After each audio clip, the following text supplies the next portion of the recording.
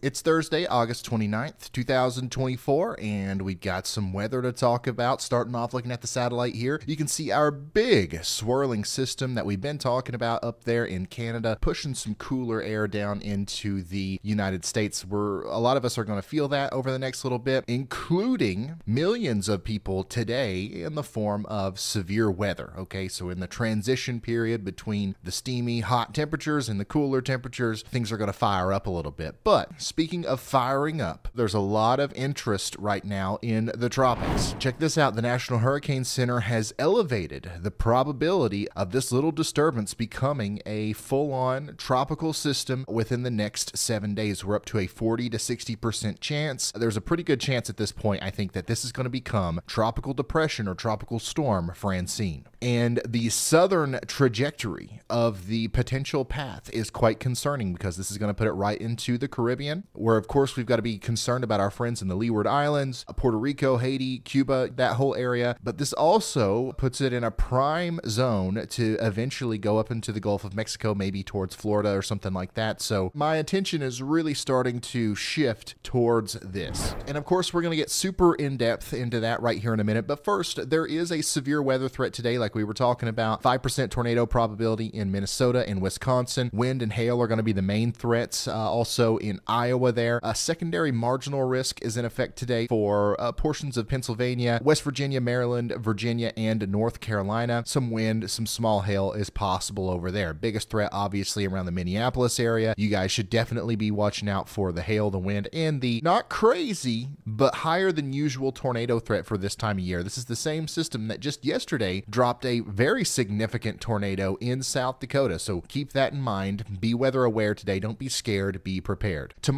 the severe weather threat is not quite as significant, but it does encompass quite a few people from Michigan all the way back towards Missouri, St. Louis, that area. We are going to have this same kind of line of storms moving into the Ohio Valley and bringing some wind and hail to these places as well. And then that actually continues on the day three outlook, where we have a marginal risk for about 50 million people in the mid Atlantic and Northeast regions. So be weather aware if you're in any of these risk zones. I'm not looking for a huge outbreak of any sorts. Here's what the radar could look like around 3 p.m. Eastern today. Of course, we are watching our cold front with the cool air from Canada behind it, causing storms, but also pay attention to all the heavy rain that's going to be happening along the coast of Texas, down there into southern portions of Louisiana, even back over towards Florida. There's a lot of tropical energy that's just going to be kind of dumping itself over the southeast here. A couple of places definitely could use the rain, but there's also going to be a few places that get overwhelmed. And of course, we're going to have the probability of seeing some flash flooding as a result of that. Also, pay attention to these pop up storms over here in the east. Some of those could carry some big hail with them, some strong winds. But of course, the number one area of interest is going to be this very strong line of storms that's going to be racing through Wisconsin, Minnesota, northern portions of Iowa today. The farther back to the south and west we go along this line, the less intense those storms are going to become, but still, they pose a threat for some small hail and some gusty winds. Moving forward, the storms are going to die out overnight tonight. Here we are at 5 a.m. Friday morning. Things are looking quite quiet for the most part, except for down there around Houston. The storms and the rain are, it's going to be really strong, especially as we get into Friday morning and afternoon in Louisiana. Some flash flooding is going to be possible as a result of the very heavy rainfall rates down there. Some stronger storms are going to try to spark up once again as we get into the afternoon and evening hours in the Ohio Valley and the Midwest up into the Great Lakes regions. That's associated with the risk that we saw on the day two outlook there. And of course, the pattern's just going to continue until this cold front gets through everyone. And if you're behind it, it's going to be quite dry. It's going to be cooler and drier, not a lot of rain at all. But in the interim, there's going to be a decent shot uh, that everybody sees some rain as the cold front exits the East Coast. Okay, so if you've been needing some rain, I know a lot of you have, this is your shot here before we get into next week and everybody's pretty dry.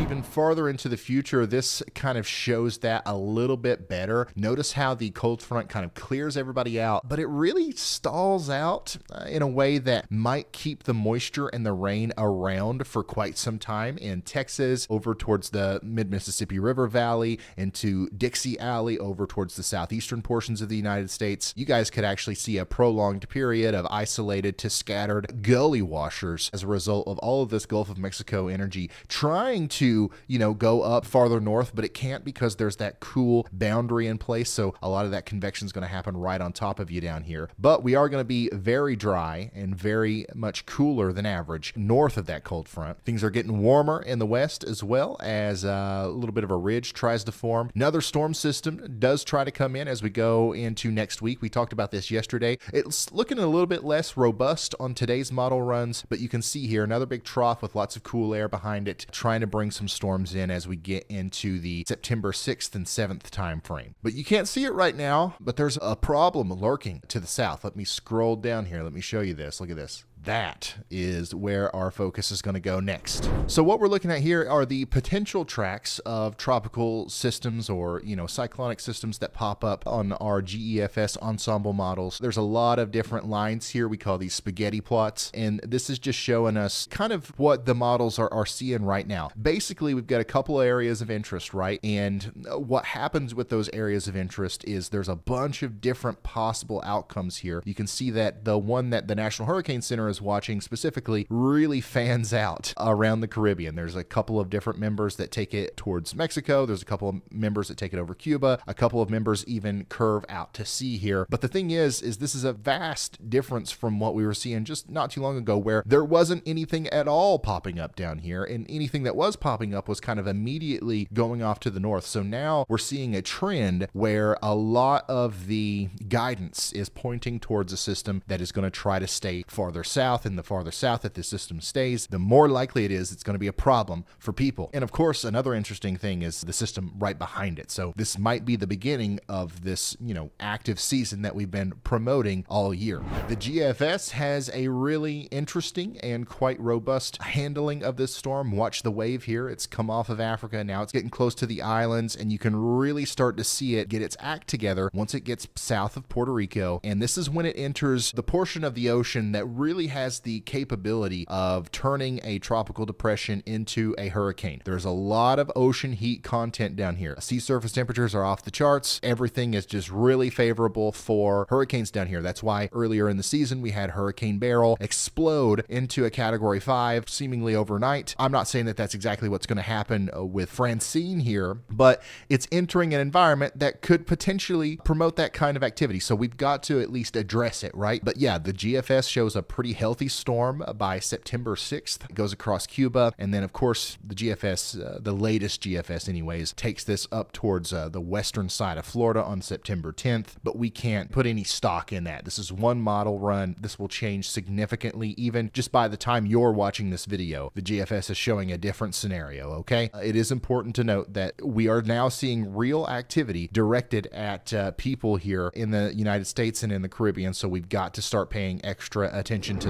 And it's not just the Atlantic Ocean that's popping off with activity. We've got a bunch of different storms in the Pacific as well. There's a dance of tropical storms and depressions happening around Hawaii right now, which is quite unusual. We've got Gilma and Hector actually on their way towards Hawaii. The good news is both of those are going to weaken significantly before they get there. However, Tropical Storm Gilma is going to pose a threat to Hawaii, mostly in terms of rain. It's going to be kind of slow moving. It's going to take all day Friday and Saturday before it gets out of our hair. So there's some places that might see, especially near some mountains, there's some places that might see more than 10 inches of rain in a very short period of time. This will, of course, lead to flash flooding, landslides, mudslides, that kind of thing. So we want you guys to be prepared for that. If we've got anybody watching in Hawaii or if you have interests in Hawaii, this weekend is going to be pretty rough in terms of weather in Hawaii, but it's not going to be a hurricane or a tropical storm by the time it gets there. In fact, by the time you're watching this video, they've probably already downgraded it from tropical